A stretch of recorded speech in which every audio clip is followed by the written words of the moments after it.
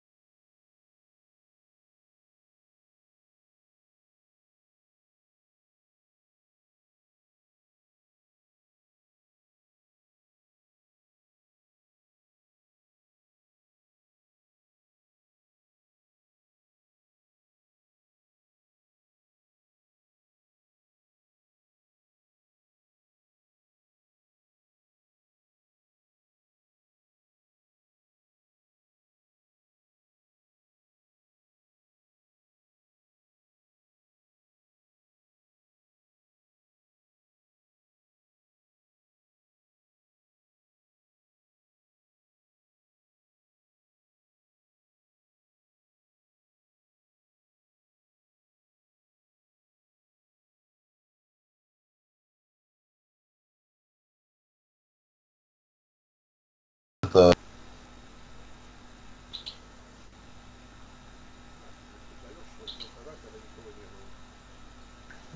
Сейчас буду читать, не, не, не включайте микрофон, пока я не скажу, я закончил. Потому что запись идет для интернета ролики.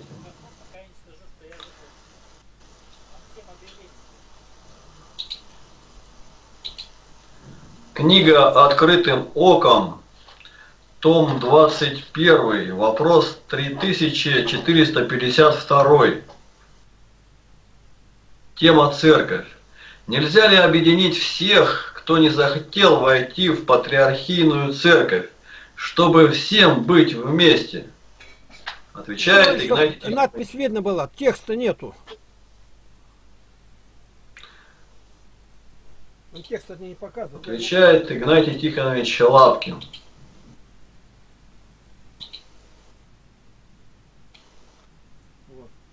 Что понимать под словом «вместе»?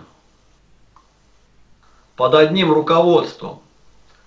Как это сделать, как раз, э, так это делать как раз и не следует. Можно быть под разными синодами и быть близкими по духу. Нам же не воевать плотским оружием, а значит и самое главное быть едиными в вере евангельской. Я един с апостолами, со святыми отцами, и мне нет разницы, что они уже перешли в другую часть церкви. Один священник у мит- у митрополита Валентина Суздальского проводил что-то вроде конференции.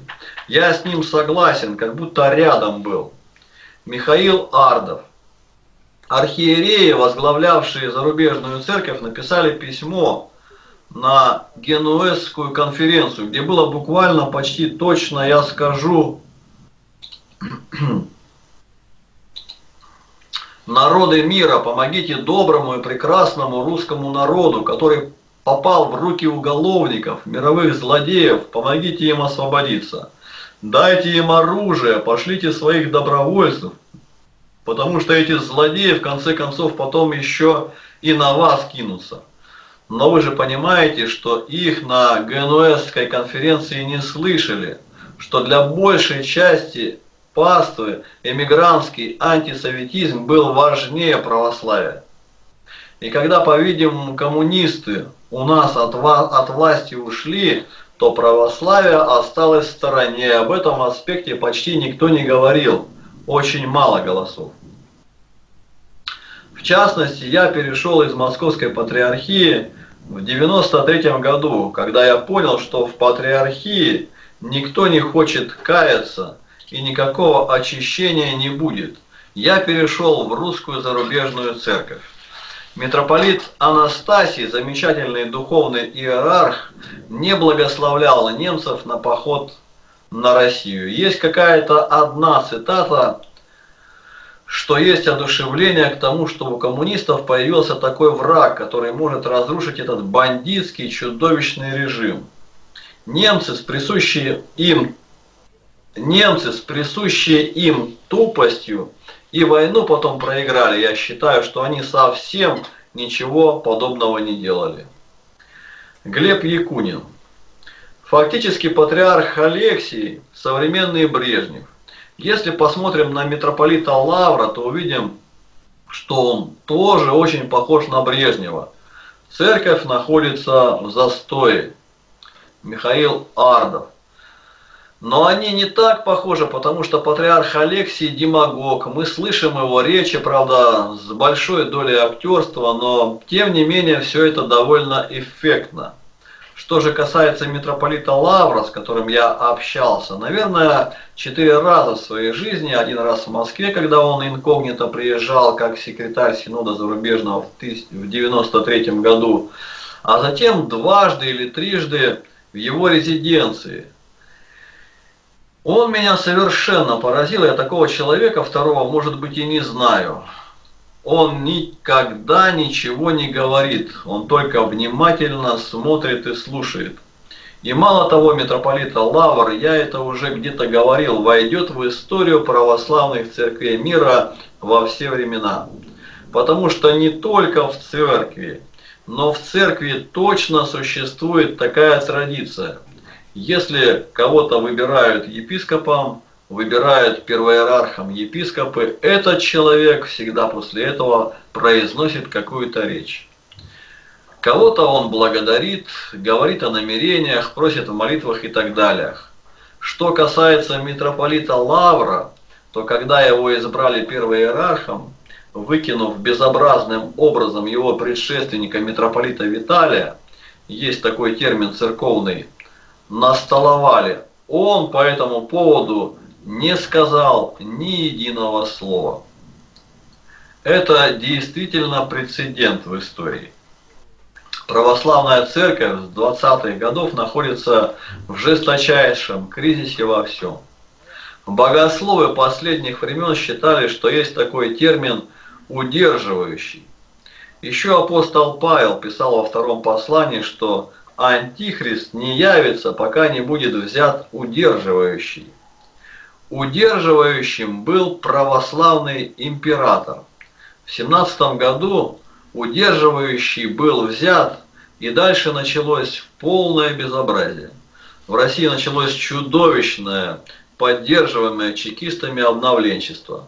Потому что митрополит Филарет, который в начале 60-х годов стал иерархом зарубежной церкви, а скончался он в 85 году, вел свой корабль абсолютно точным курсом вместе со своим главным помощником, епископом Григорием Грабе. Они написали три скорбных послания против экуменизма, обращаясь ко всем мировым православным церквям и рассеяния всем прочим, что Московская Патриархия не церковь свободная, а марионетка коммунистических властей. Приходы и миряне зарубежной церкви не сродни нашим, забитым, находящимся почти в военном послушании у наших архиереев.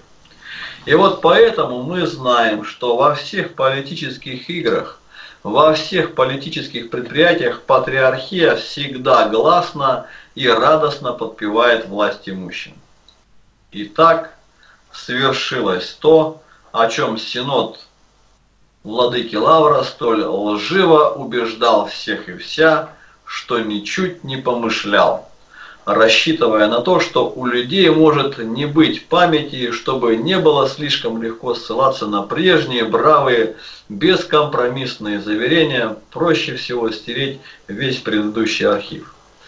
Поэтому не лишнее еще раз напомнить, с кем эти продажные архиереи общаются, кому лобызают руку, кого величают святейшим. За все время своей головокружительной карьеры, сложа руки, товарищ Дроздов, безусловно, не сидел и не знал, чем лучше угодить своим безбожным хозяевам, что яствует из его биографии. Так не лишне напомнить, в частности, для отца Потапова, бывшего близким другом А.И. Солженицына, официальные слова святейшего, писанные им 17 февраля 1974 года в качестве управляющего делами Московской Патриархии. Мера, примененная к Александру Солженицыну Президиумом Верховного Совета СССР о лишении его гражданства СССР, является вполне правильной и даже гуманной, отвечает воле всего нашего народа. В такой обстановке неудивительно, что знаменитый секретный доклад Фурова, прочитанный в 1978 году, перед ЦК КПСС определял ему самое первое место в разряде тех, кто и на словах, и на деле подтверждает не только лояльность и патриотичность к социалистическому обществу, строго соблюдая законы о культах, и в том же духе воспитывает приходское духовенство верующих, реально сознает, что наше государство не заинтересовано в возвышении роли религии и церкви в обществе, и понимая это, не проявляет особенной активности в расширении влияния православия среди населения. Можно только представить себе, как надо было человеку выслужиться перед безбожниками, чтобы заслужить столь лестную характеристику. Если кто скажет, что он этим, по примеру Сергия Строгородского, спасал церковь в жуткое советское время, напомним, что в год тысячелетия Руси, когда Горбачевская гласность перестройка уже не была на зените, Товарищ Дроздов удостоился почетной грамоты КГБ за особые заслуги. Вот перед кем капитулировал Нью-Йоркский Синод. Кому без боя он сдал церковь, ее имущество и, главное, ее души. В историю церкви войдет в день, когда весь христианский мир праздновал славное вознесение Господне. Православным христианам дано было наблюдать великое падение. Церковного небосвода в бездну пала некогда славная звезда. Поэтому сегодняшнее сопротивление малого остатка зарубежной церкви является ничем иным, как священный долг памяти по отношению к нашим отцам, к нашему прошлому, долг памяти во имя духовного будущего России. В том случае, если такое временное собрание допускает грубые ошибки, канонические нарушения, каковые, например, допускал Синод при митрополите Сергии, запрещая и перемещая архиереев, то каждый епископ волен самостоятельно принимать решения о своем неподчинении такому собранию. Так и поступили почти все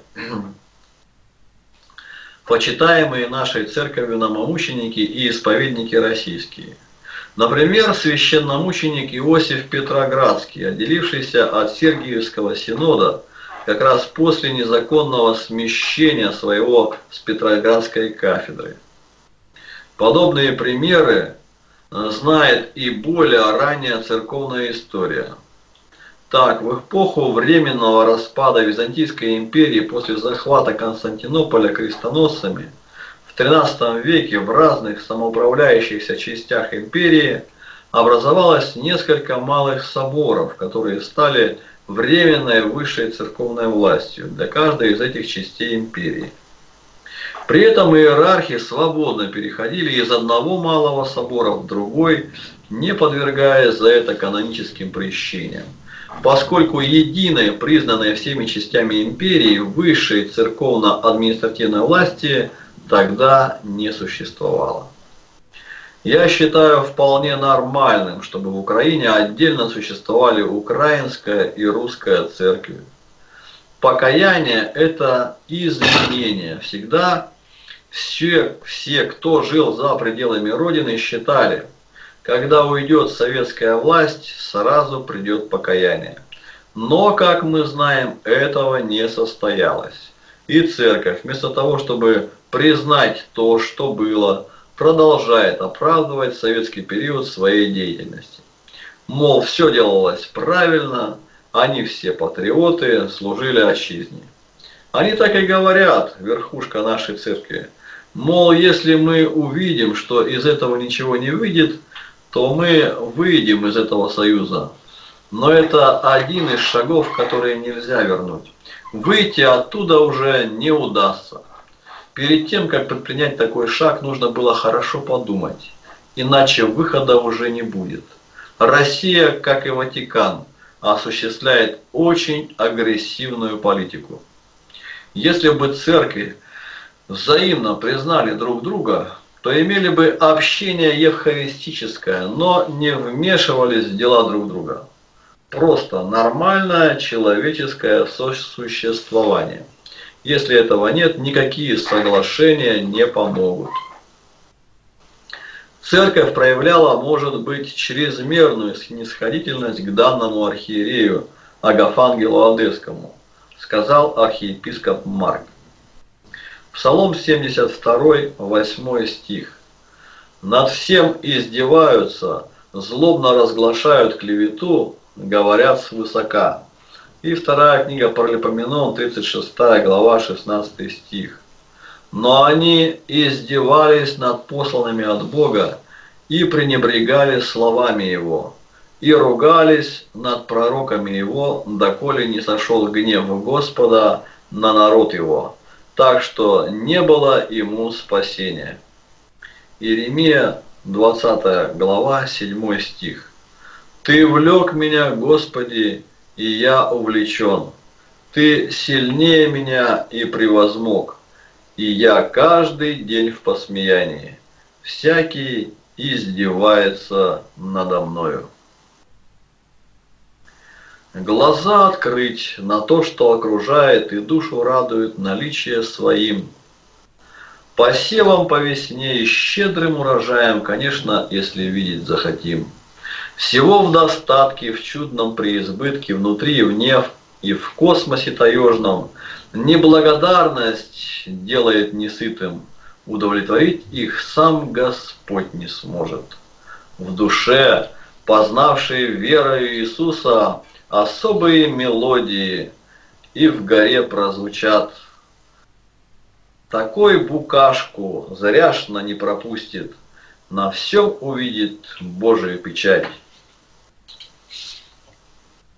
В лесу и в поле, равно и на море, он слышит, чувствует присутствие Творца.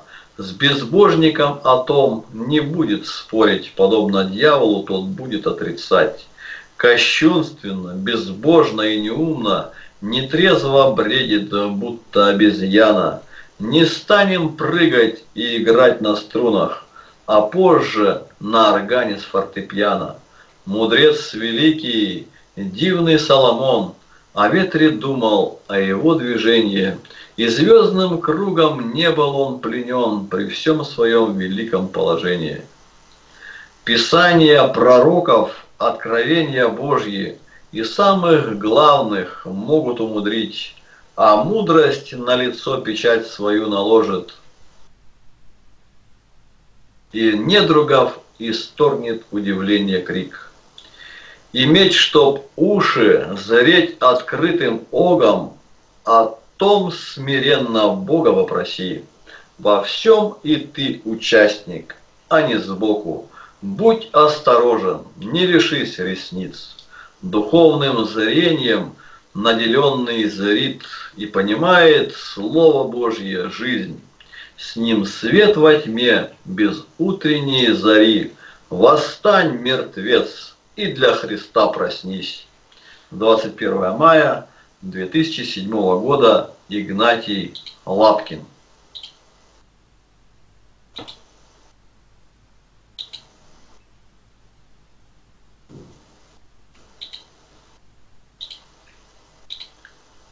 Книга «Открытым оком», вопрос 3453, 21 том, тема «Церковь».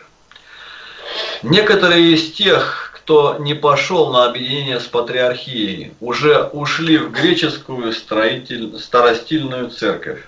Не хотели бы вы с ними поближе познакомиться и войти к ним?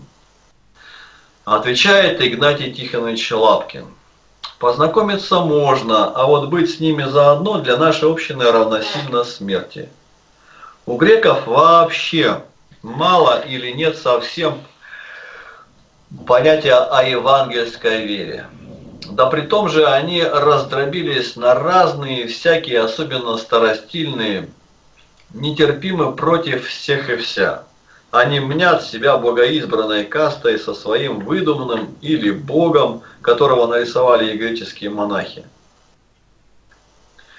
Но библейский бог и близко не похож на их бога нелюбви. Мне приходилось начитывать на пленке жития святых, и резко бросается в глаза огромная разница между христианством на Западе и христианством на Востоке еще задолго до их разделения. Восток непрерывно потрясала борьба внутри себя, борьба за ереси, борьба против ересей. Почему Запад был почти свободен от этой борьбы? и за разрешением глобальных споров обращались не в Иерусалим, не в Константинополь, а совершенно напротив. Даже из этих городов сделали депеши о помощи в Рим. И не кто-то, а такие страдальцы, как Иоанн Златоуст. И так было целые века до 1054 года между восточным пониманием и западом, и западным. И даже каноны специально изобрели, чтобы не обращались за море к римскому первоиерарху. Карфагенский собор, правило 37 и 138. Причина же есть к тому нетерпимость ко всякому проявлению свободы духа. Вот это и заглушило и убило монашество на Востоке. где и, где и народилось мусульманство. В причине возникновения мусульманства виноваты не просто монахи, а именно греческие. Именно Византия, а не Рим. Если посмотреть в историю, то увидим, что же делали греческие монахи русским после крещения Руси. Митрополит Исидор, бывший на, Флорин, на Флорентийском соборе, твердо держался своей подписи, что признал главенство папы в 1440 году. Великий князь Василий арестовал Исидора, его свергли и заключили. Но Исидор бежал из-под стражи сначала в Тверь, потом в Литву и в Рим. Князь Василий послал грамоту в Царьград, чтобы было дозволено избирать и поставлять собором восточных епископов митрополита на Руси. Но 16 февраля 1446 года великий князь Василий был захвачен Дмитрием Шемякой и ослеплен 16 февраля 1444 года, прозван Василием Темным. Но Шемяка был позже свергнут и умер от яда. Основываясь на правилах соборах и на примерах бывших прежде собор пастыря в России 5 декабря 1448 года, впервые сам без греческих патриархов возвел митрополиты Иону на престол в Киеве. В 1453 году Константинополь пал перед магометанами. Страдания церкви греческой были невообразимы. Русским только тогда и было даровано право избирать самим и поставлять у себя первосвятителей, без уведомления Константинополя совершенно самостоятельно.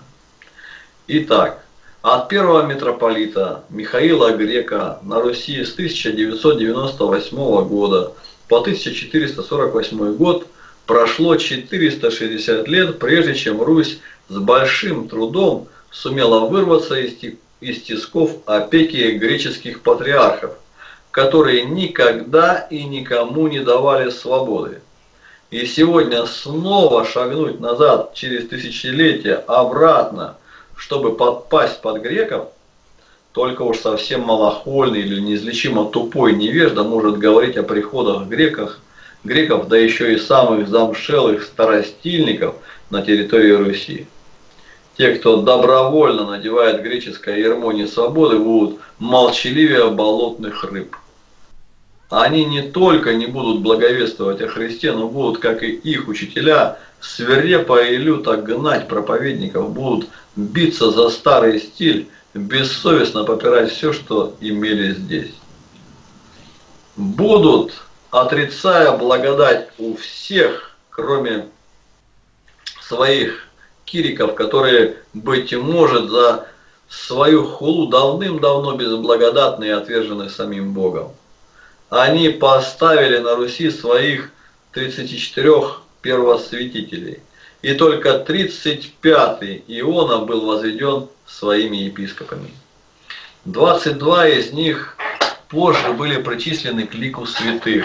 16-й митрополит, поставленный на первосвятительскую кафедру русскими епископами, считая с Ионой, был 23 января 1589 года посвящен в первого патриарха на Руси. Как непросто это далось русским, Константинополь привык держать русскую церковь в подчинении себе. Алексий II, возведенный в патриархе 10 июня по настоящему стилю в 1990 году, стал пятнадцатым патриархом. Но это было еще два местоблюстителя и время Синода 1721 по 1918 годы.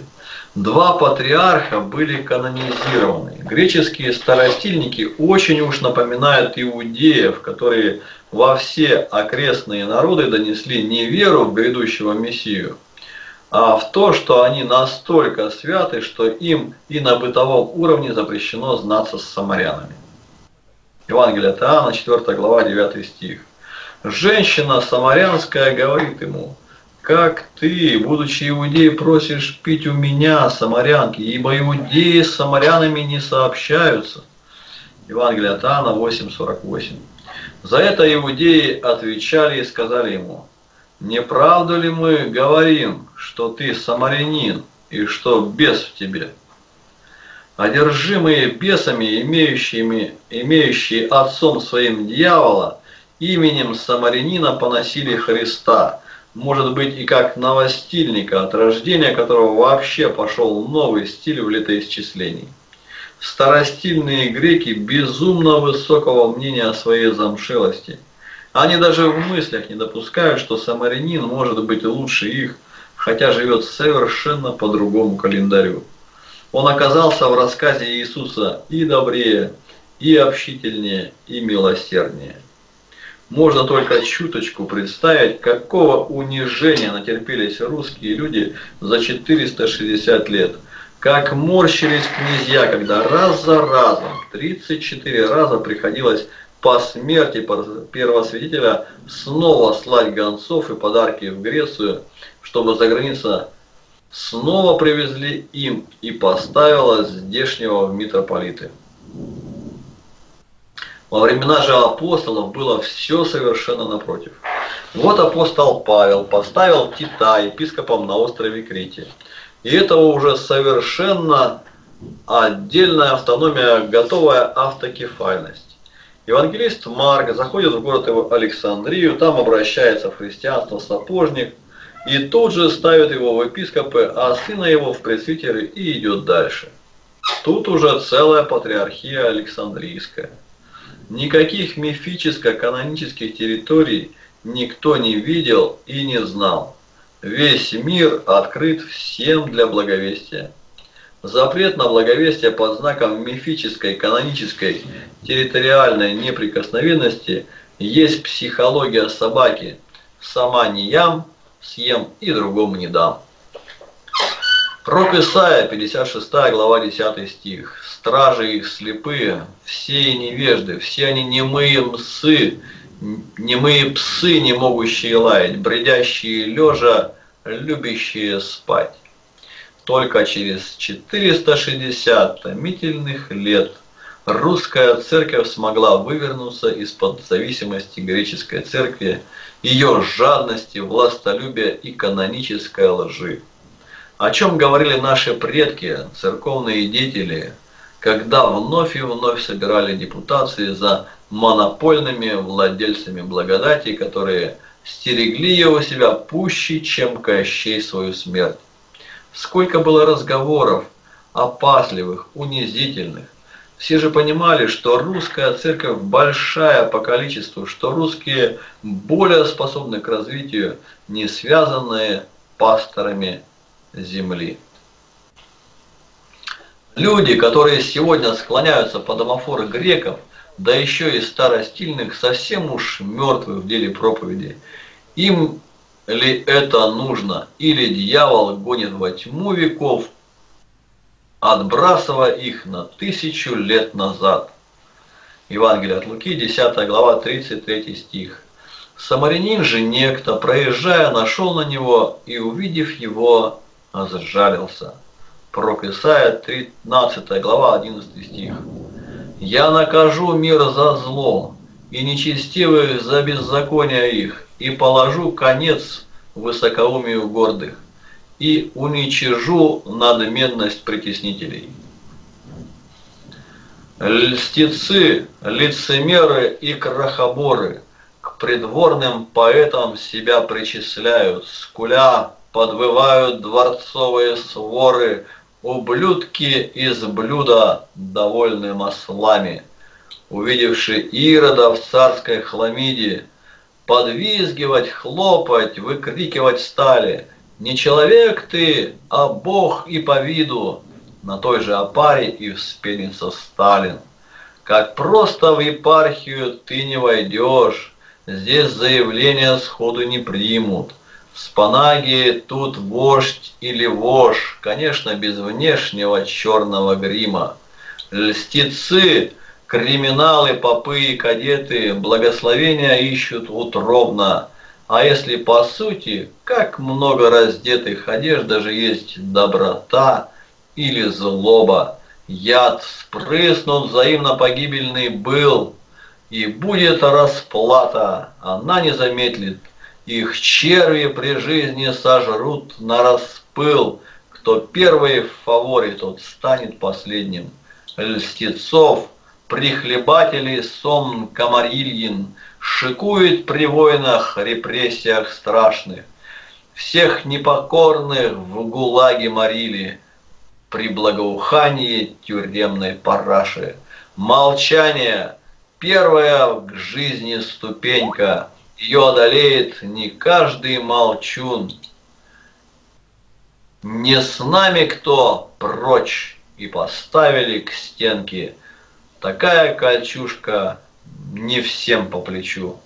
Жить не по лжи, отойти от плакатов, домашним и ближним о том толковать, а всем лицемерам досыта лакать бы, в ладошки похлопать и сонно клевать.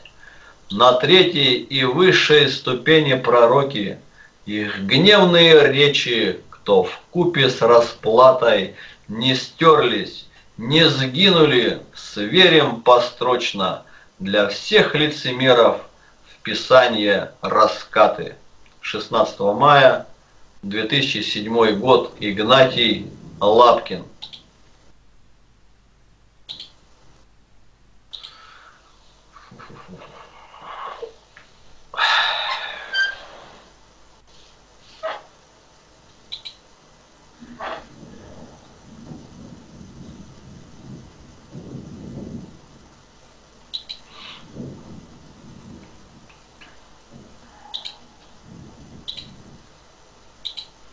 Книга «Открытым оком», том 22, вопрос 3359. Тема «Церковь». Слышал выражение «Уста Златоуста, уста Павловы, уста Павловы, уста Христовы». Что из этого следует? Отвечает Игнатий Тихонович Лапкин. Во-первых, это не библейское изречение, потому весьма осторожно его нужно воспринимать. Если вторую часть еще можно как-то согласовать со священным писанием, то первую никак, кроме как сверяя со сказанным апостолом Павлом во всех его 14 посланиях и с тем, что говорил и делал по описанному в деяниях апостолов сей муж.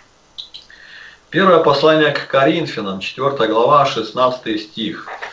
«Посему умоляю вас, подражайте мне, как я Христу».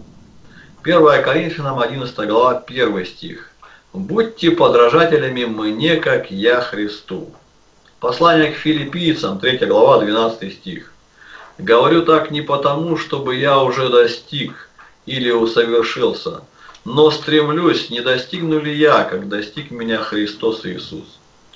Если человек живет в Духе Святом, имеет близкие отношения с Богом, то вступает в силу обетования Иеговы, Книга Второзакония 18.18. 18.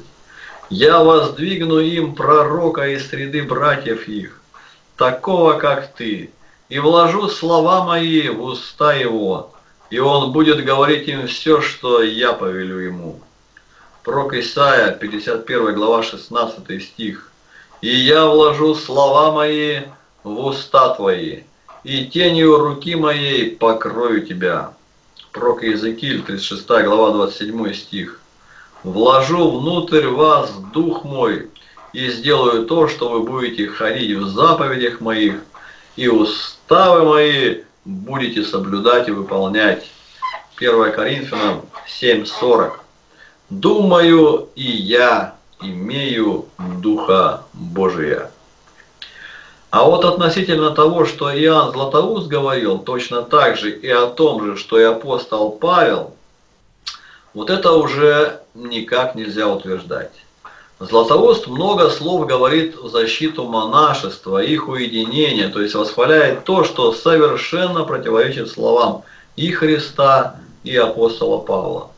Так что Иоанн Златоуст далеко не апостол Павел, хотя он величайший проповедник в первые века христианства.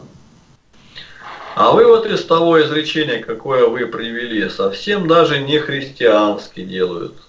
Следуя тому выражению, можно в два счета нарваться на слова Божии, угрожающие тому, кто поступает не по его словам. Точно так же ссылаются на каноны соборов или на правила Василия Великого и пытаются чуть ли не приравнять их к словам библейским. Тут даже и рассуждать не нужно, а просто рассмеяться и отойти от этих суесловов. В правилах много такого заложено, что никогда не выполнялось и не допускалось, чтобы кто-то боролся за точно их исполнение. Псалом 118 и 113 стих. «Вымыслы человеческие ненавижу, а закон твой люблю». Пророк Исаия, 8 глава, 20 стих. Обращайтесь к закону и откровению, если они не говорят, как это слово, то нет в них света. Как не хватает ныне полотна, нездешнего, незнаемого сорта. Апостол Петр голодный был полдня, пока еду готовят, с голоду приперло. И полотно с небес, а в нем животных, крылатых птиц и гадов ядовитых, совсем-совсем для пищи непригодных, раздался голос «Закали их!» Петр ужаснулся, может, рот зажал, да я же правоверный иудей, и не помыслю, чтобы взять кинжал, зарезать скверну, рассмешить людей. И вдруг глагол, какого не слыхал, повелевает тварь всю не считать нечистой. Такое есть, да разве я нахал? Глаза закрыл и зубы крепче стиснул. Но повеление раз за разом было трижды, бьет по презрительному отношению к людям, то полотно, как бы сегодня вижу, пошло, през... пошло презрение к иудеям, может быть отсюда. Так закали же, взявши слово меч, не бойся осквернить себя их кровью, ешь с послушанием, сытым можешь лечь, не трепещи в обрядах словно кролик. За расшифровкой надо пройти к, с посыльными туда, где ждет Корнилий. Путь благовестию никто не запретит, отцов, родивших, дети там кормили. Попу иному или же монаху на кровлю в голоде ни разу не зашедшим, не хочется идти туда, где зверством пахнет. Идти к таким, я разве сумасшедший? Смотрю на крышу, голову задравши. Такая пустота там, просто жуть. Сидит отшельник с чечевичной кашей. На полотне рогожки кривляется, как шут. 1 июня 2007 года Игнатий Лапкин. Чечевичной каши. Это про Исава. Новороссцы-то продали.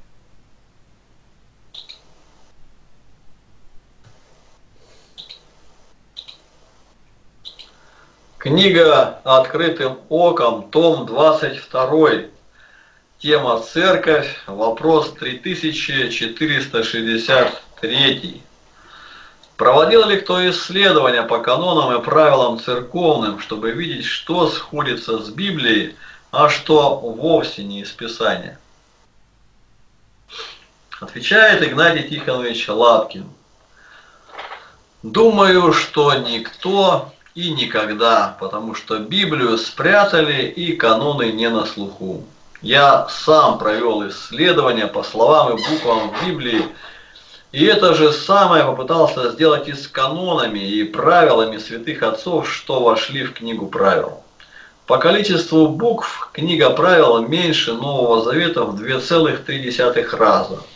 И вот что получается. В Новом Завете нет ни одного проклятия кому бы то ни было от христиан. Слова проклятие, проклинать встречается в Новом Завете 13 раз.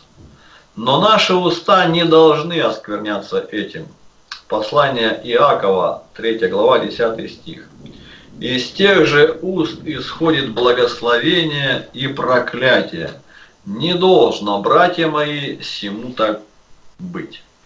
И послание к римлянам, 12 глава, 14 стих. Благословляйте гонителей ваших, благословляйте, а не проклинайте. Хотя, конечно же, были и будут те, кто проклят, творит дела достойные того, чтобы этих людей все проклинали, как убийц и насильников, как злых грабителей и правителей. Послание к евреям, 6 глава, 8 стих. Производящая терния и волосцы негодна и близка к проклятию, которого конец – сожжение. И второе послание Петра, 2 глава, 14 стих. Сердце их приучено к любостяжанию. Это сыны проклятия. Так как мы уже освобождены от клятвы закона и сделались сынами благословения, то и характер у нас должен быть подобен тем, кто будет жить со Христом, где нет проклятых. Книга Откровения, 22 глава, 3 стих и ничего уже не будет проклятого, но престол Бога и Агнца будет в нем, и рабы его будут служить ему. В книге же правил 47 клятв, то есть проклятий.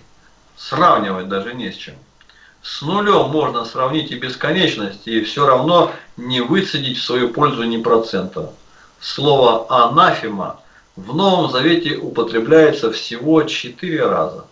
Констатация факта признания Иисуса Господом сущего. Фраза, которая закроет уста хулы на всех, кто признает в Иисусе Спасителя, единого во Святой Троице, как православно мыслили всегда. Первое послание к Коринфянам, 12 глава, 3 стих. Потому сказываю вам, что никто, говорящий Духом Божиим, не произнесет анафемы на Иисуса, и никто не может назвать Иисуса Господом, как только Духом Святым. И на тех, кто не любит Христа и Его учения, кто искажает евангельскую весть. Первое послание Коринфянам 16.22.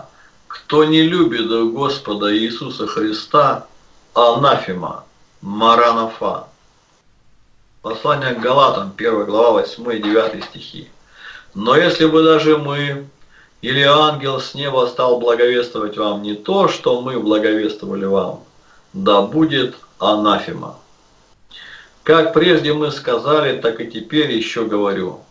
Кто благовествует вам не то, что вы приняли, да будет анафема. Сравни это с двадцатью тремя анафемами в книге правил и скажешь, что накладывавшие эти анафемы не держали в руках Слово Божие. Только и воскликнешь со Христом. Лука 9:55. Не знаете, какого вы духа. Слово «отлучать» в Новом Завете только в том смысле, что никто и никогда от Христа не отлучит. Послание к римлянам 8.35. Кто отлучит нас от любви Божией? Скорбь или теснота, или гонение, или голод, или нагота, или опасность, или меч. И 68 раз грозят отлучением непокорным церковным правилам в книге правил. Слово «благовестие» в Новом Завете сто раз, а в книге правил четыре раза, и при том не благовестие зовут, а просто по тексту слова. Притом не на благовестие зовут, а просто по тексту слова. В Новом Завете слово «проповедовать» 112 раз, в книге правил 18 раз монастырь в Новом Завете ни разу, а в книге правил 129 раз. В книге правил находятся апостольские правила 85 правил, 7 вселенских соборов 190 правил, 9 поместных соборов 333 правила и 11 святых отцов, 172 правила, из которых одному Весилию Великому принадлежит 92 правила. И о чем же эти правила у Василия Великого? Речь о монашестве и о церковных прещениях, карах занимает большую часть его обширных правил. Среди святых отцов Василий Великий своего рода, как апостол Павел в Новом Завете. Только апостол все посвятил проповеди, а Василий – основанию монастырей и обузданию нечестивой паствы, убийц, прелюбодеев, абортниц, еретиков, раскольников, изменников правила Василия и послания Павла разнятся как нора глубоко под землей и небо синее. Если бы Василий Великий был пророк и благовестник, а не был бы подобен фиксирующему церковные нарушения преступления, то он бы увидел, что будет с его пустыней, с его монастырями. Если бы уже тогда Бог Иегов показал ему, что это все за то, что он не организовывал курсы по изучению Библии, курсы подготовки благовестников, за то, что образовывал монастыри и тем заблокировал тысячи лучших бойцов Христовых, он бы умер от страха, не дожив до своих 48 лет. А отступники, еретики, раскольники и самочинники все хватаются за правила первого Василия, за правила первого Василия Великого. А оно-то как раз их и зажимает. Посему, хотя великий Дионисий и не применит всего, но нам не должно соблюдать подражание неправильному, ибо нелепость сама собою явна, явна и ясна для всех имеющих хотя несколько рассуждения. Я занимался исследованием правил три года, переводил их на русский язык, составлял на них симфонию, находил все погрешности против правил. Хотя правил ныне в книге правил 695, но при патриархе Иосифе их было, считая с юстинианами, 986 правил. Позже было издано без них 719 правил. Из них ныне повсеместно, явно, умышленно, с совершенным пренебрежением правилами нарушается в каждой церкви 413 правил, то есть 57% от общего числа. Как-то отец Кирилл Сахаров чуть ли не упрекнул меня, что у меня нет целостности, а какая-то раздвоенность. Он это точно подметил по своему разумению. При таком моем понимании исключительной важности и приоритета Писания во всем и над всем и критики предания, правил церковных, я был должен был, я бы должен был вообще забыть про книгу правил, но тут как раз все наоборот. Я стою за исполнение всех правил, доколе они не отменены. Конечно, если только они не противоречат священному писанию. Пророк Исаия, 28 глава, 13 стих.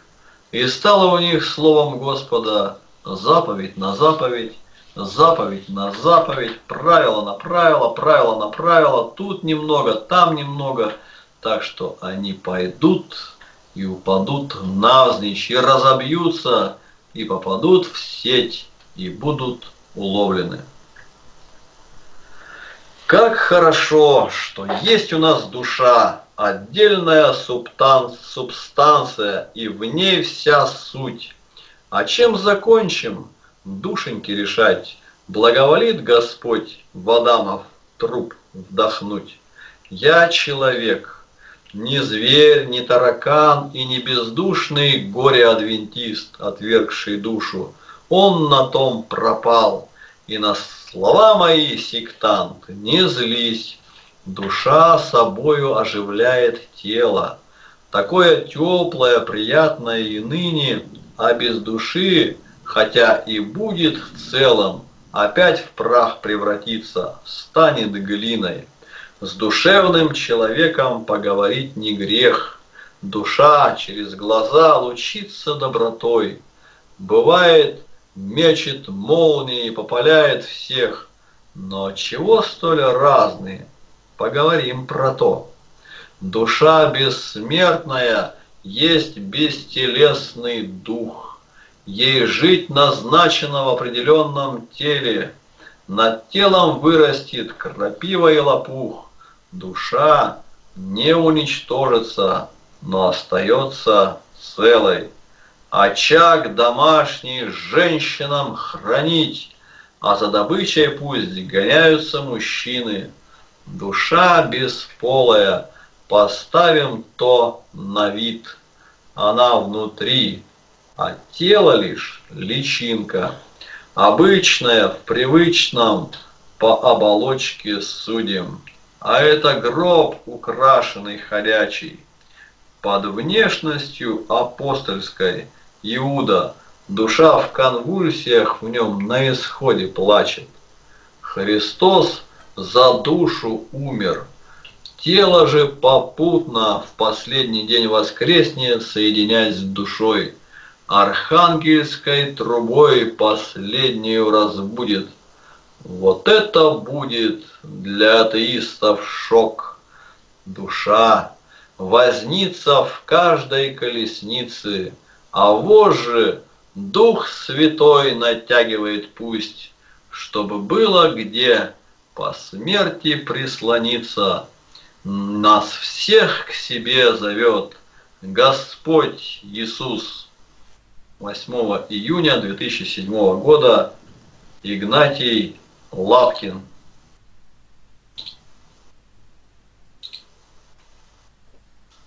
Благодарю за внимание. Так, так, так, так, так, так, так, так. Теперь кто там хотел заходить? Ты сейчас ему дай знак, а сам отключись, чтобы на меня вышел. Э, так, Ким, вы знаете, Скажи, нет, Как ласкание? нету у него видеокамеры. Ну как жалко-то. Ну пускай приготовит. У меня правило. Пусть зайдет, я ему скину. На меня выйдет. Я правила скину ему, он потом сделает все и зайдет. На одну-две минуты. Пусть зайдет. у вас есть скайп Игнатия Тихоновича Лапкина? Я не знаю, кого. Он на меня-то пусть брякнет по скайпу-то. Даже без глазка. Я скину все данные. Ну и потом приготовит глазок, и тогда побеседуем. А сейчас мы связь установим. Ну все, отошел я. Давай. Пускай заходит.